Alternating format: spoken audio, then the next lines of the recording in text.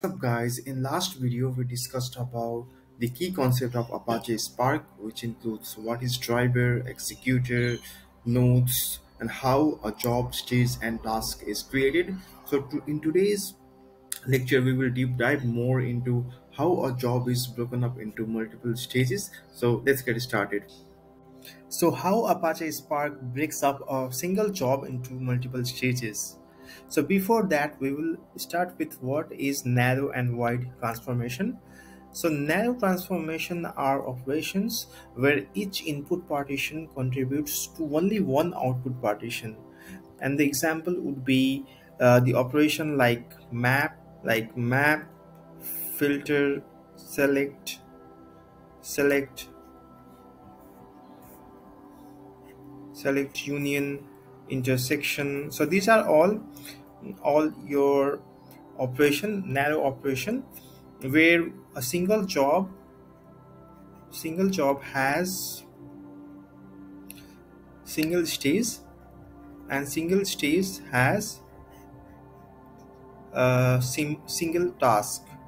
So there is no multiple stages involved in narrow transformation. We will see more practically in databricks so wide transformation are operation that that require data from multiple partition to compute the the output partition which would mean for example the group by joins sorting aggregation these are all heavy operations. So it's called a, a wide transformation where your jobs is uh, divided into several stages uh, stage one let's say stage 2 stage 3 and your stage 1 is also further divided into uh, several tasks. Task 1 maybe task 2 so task 3 so so if we use this operation group by join aggregation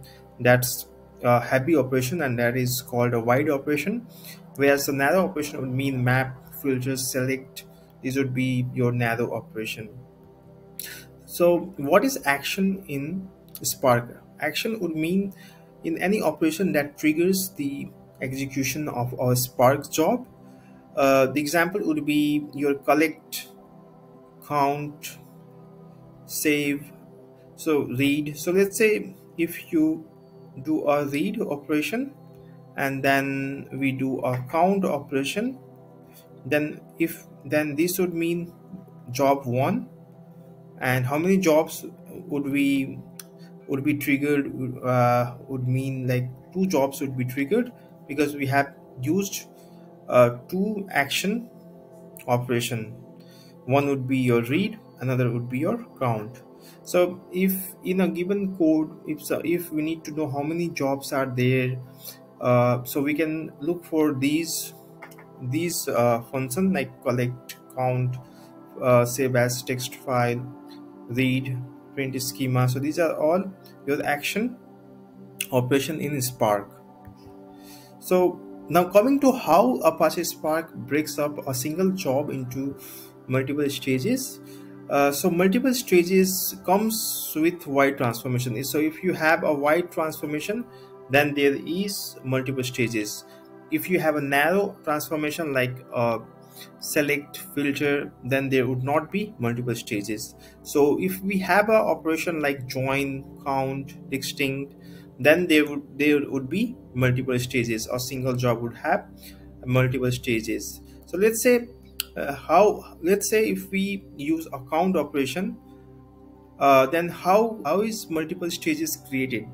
So if we use account operation then uh, internally in apache spark two stages are, are created. One is your your local count and another is your global count if we use count operation.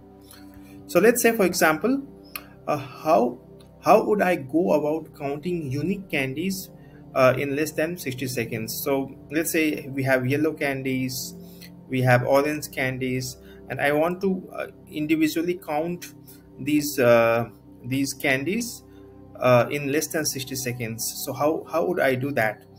Uh, so so what would i do is is so let's say we will assign assign a number let's say for orange one one two another it would be three and four. And then this this this uh, the candy is distributed among your executor. So within executor there is nodes so let's say it is distributed among your your driver distributes the candies among a uh, a d i and j. And then a does a count of of yellow candies d does a count of orange candies j does a count of of yellow candies. So let's say a a did a count of five. So let's say we have uh, five. Let's say for example we have five orange orange candies. And d uh, has let's say four four yellow candies so each task is is is counting their set of candies. So this this count which executor does within executor the core uh, does individually that's that's that's the local count. And that that local count stays in stage one. So so on a local count uh, the individual executor uh, individual core does account and then within that uh, and once they do account their job is done. So that's what we got we we say it as a local count.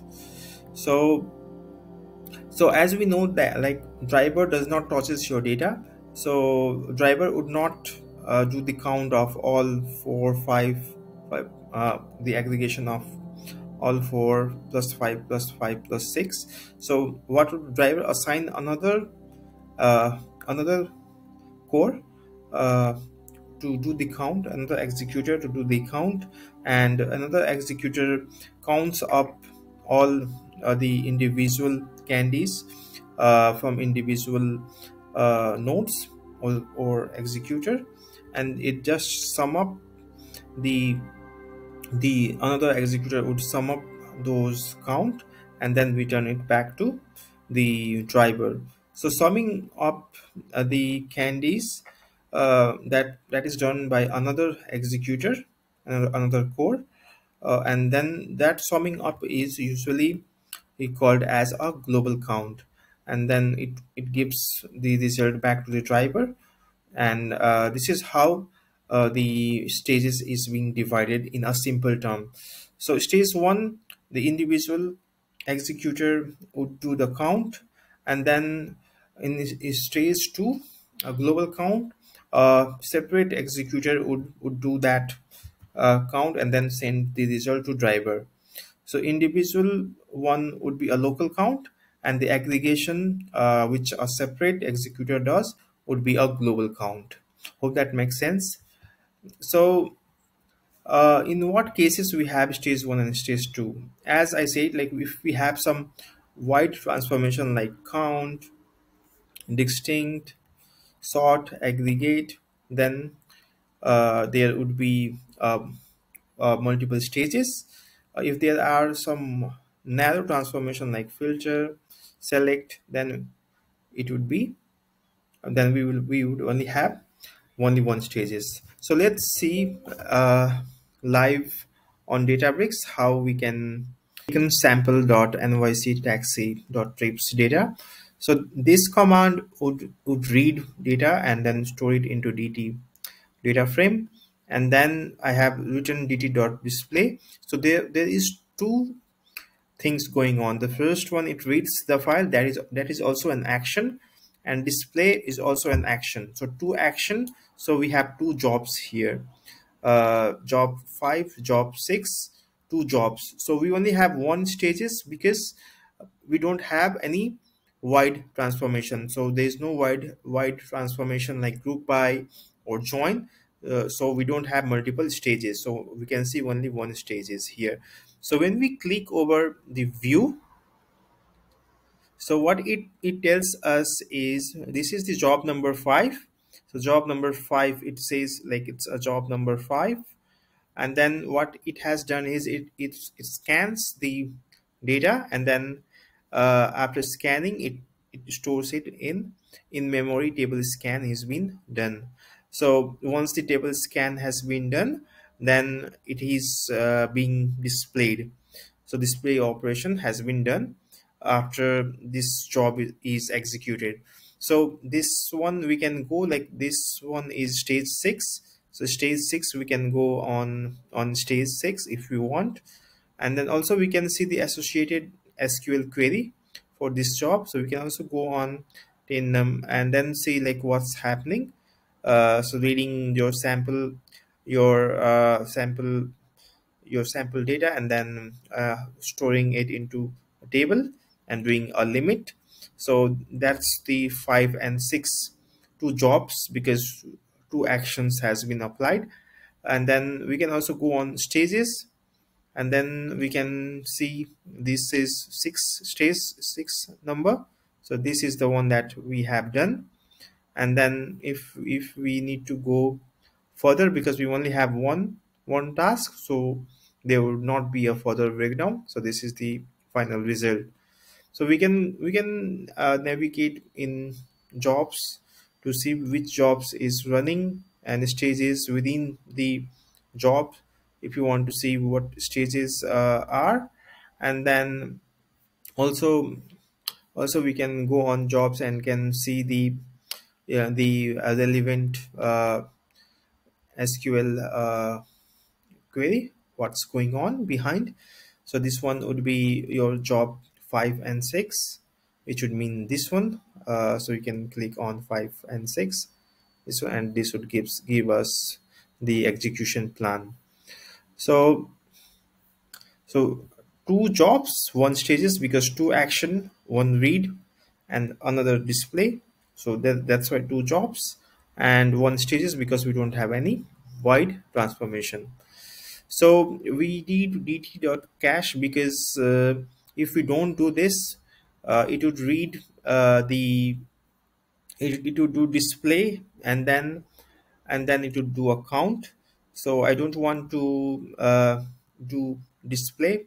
It dt if we if we use dt again it would read the previous uh, task. The previous task was dt dt dot display. So to avoid that i did dt dot cache and reused the dt uh, dot count. So dt dot count is again this is a wide wide transformation. So we will have uh, multiple stages. Uh, so we see two jobs because count is another action. And the first one initial table scan would be another action. So two action two jobs. So within within jobs we can see three three tasks being being done. First is scanning scanning your raw data. And uh, second is your local count stage one and another is your global count. Uh, yeah so that's why we have we have three tasks here. So we can again go to view. And then we can we can see we have three tasks. Uh, and this is the the uh, the task three task id uh, 14 13 14 15 so it has been the data has been equally distributed. Uh, and also we can go to jobs and then go to query. So what's happening there? We can see. Uh, yeah so initially table scan and then and then uh, reading whole table into into memory and then uh, exchange would mean uh, multiple stages being created and then hash aggregation and uh, adaptive spark plan. So we will go through these in more details but the today's lecture was uh, just about how uh, uh, action is further divided into subdivided into jobs and stages and tasks so that was the main motive uh, of this video hope you like this video please do subscribe and uh, motivate me to create more videos See you. Bye.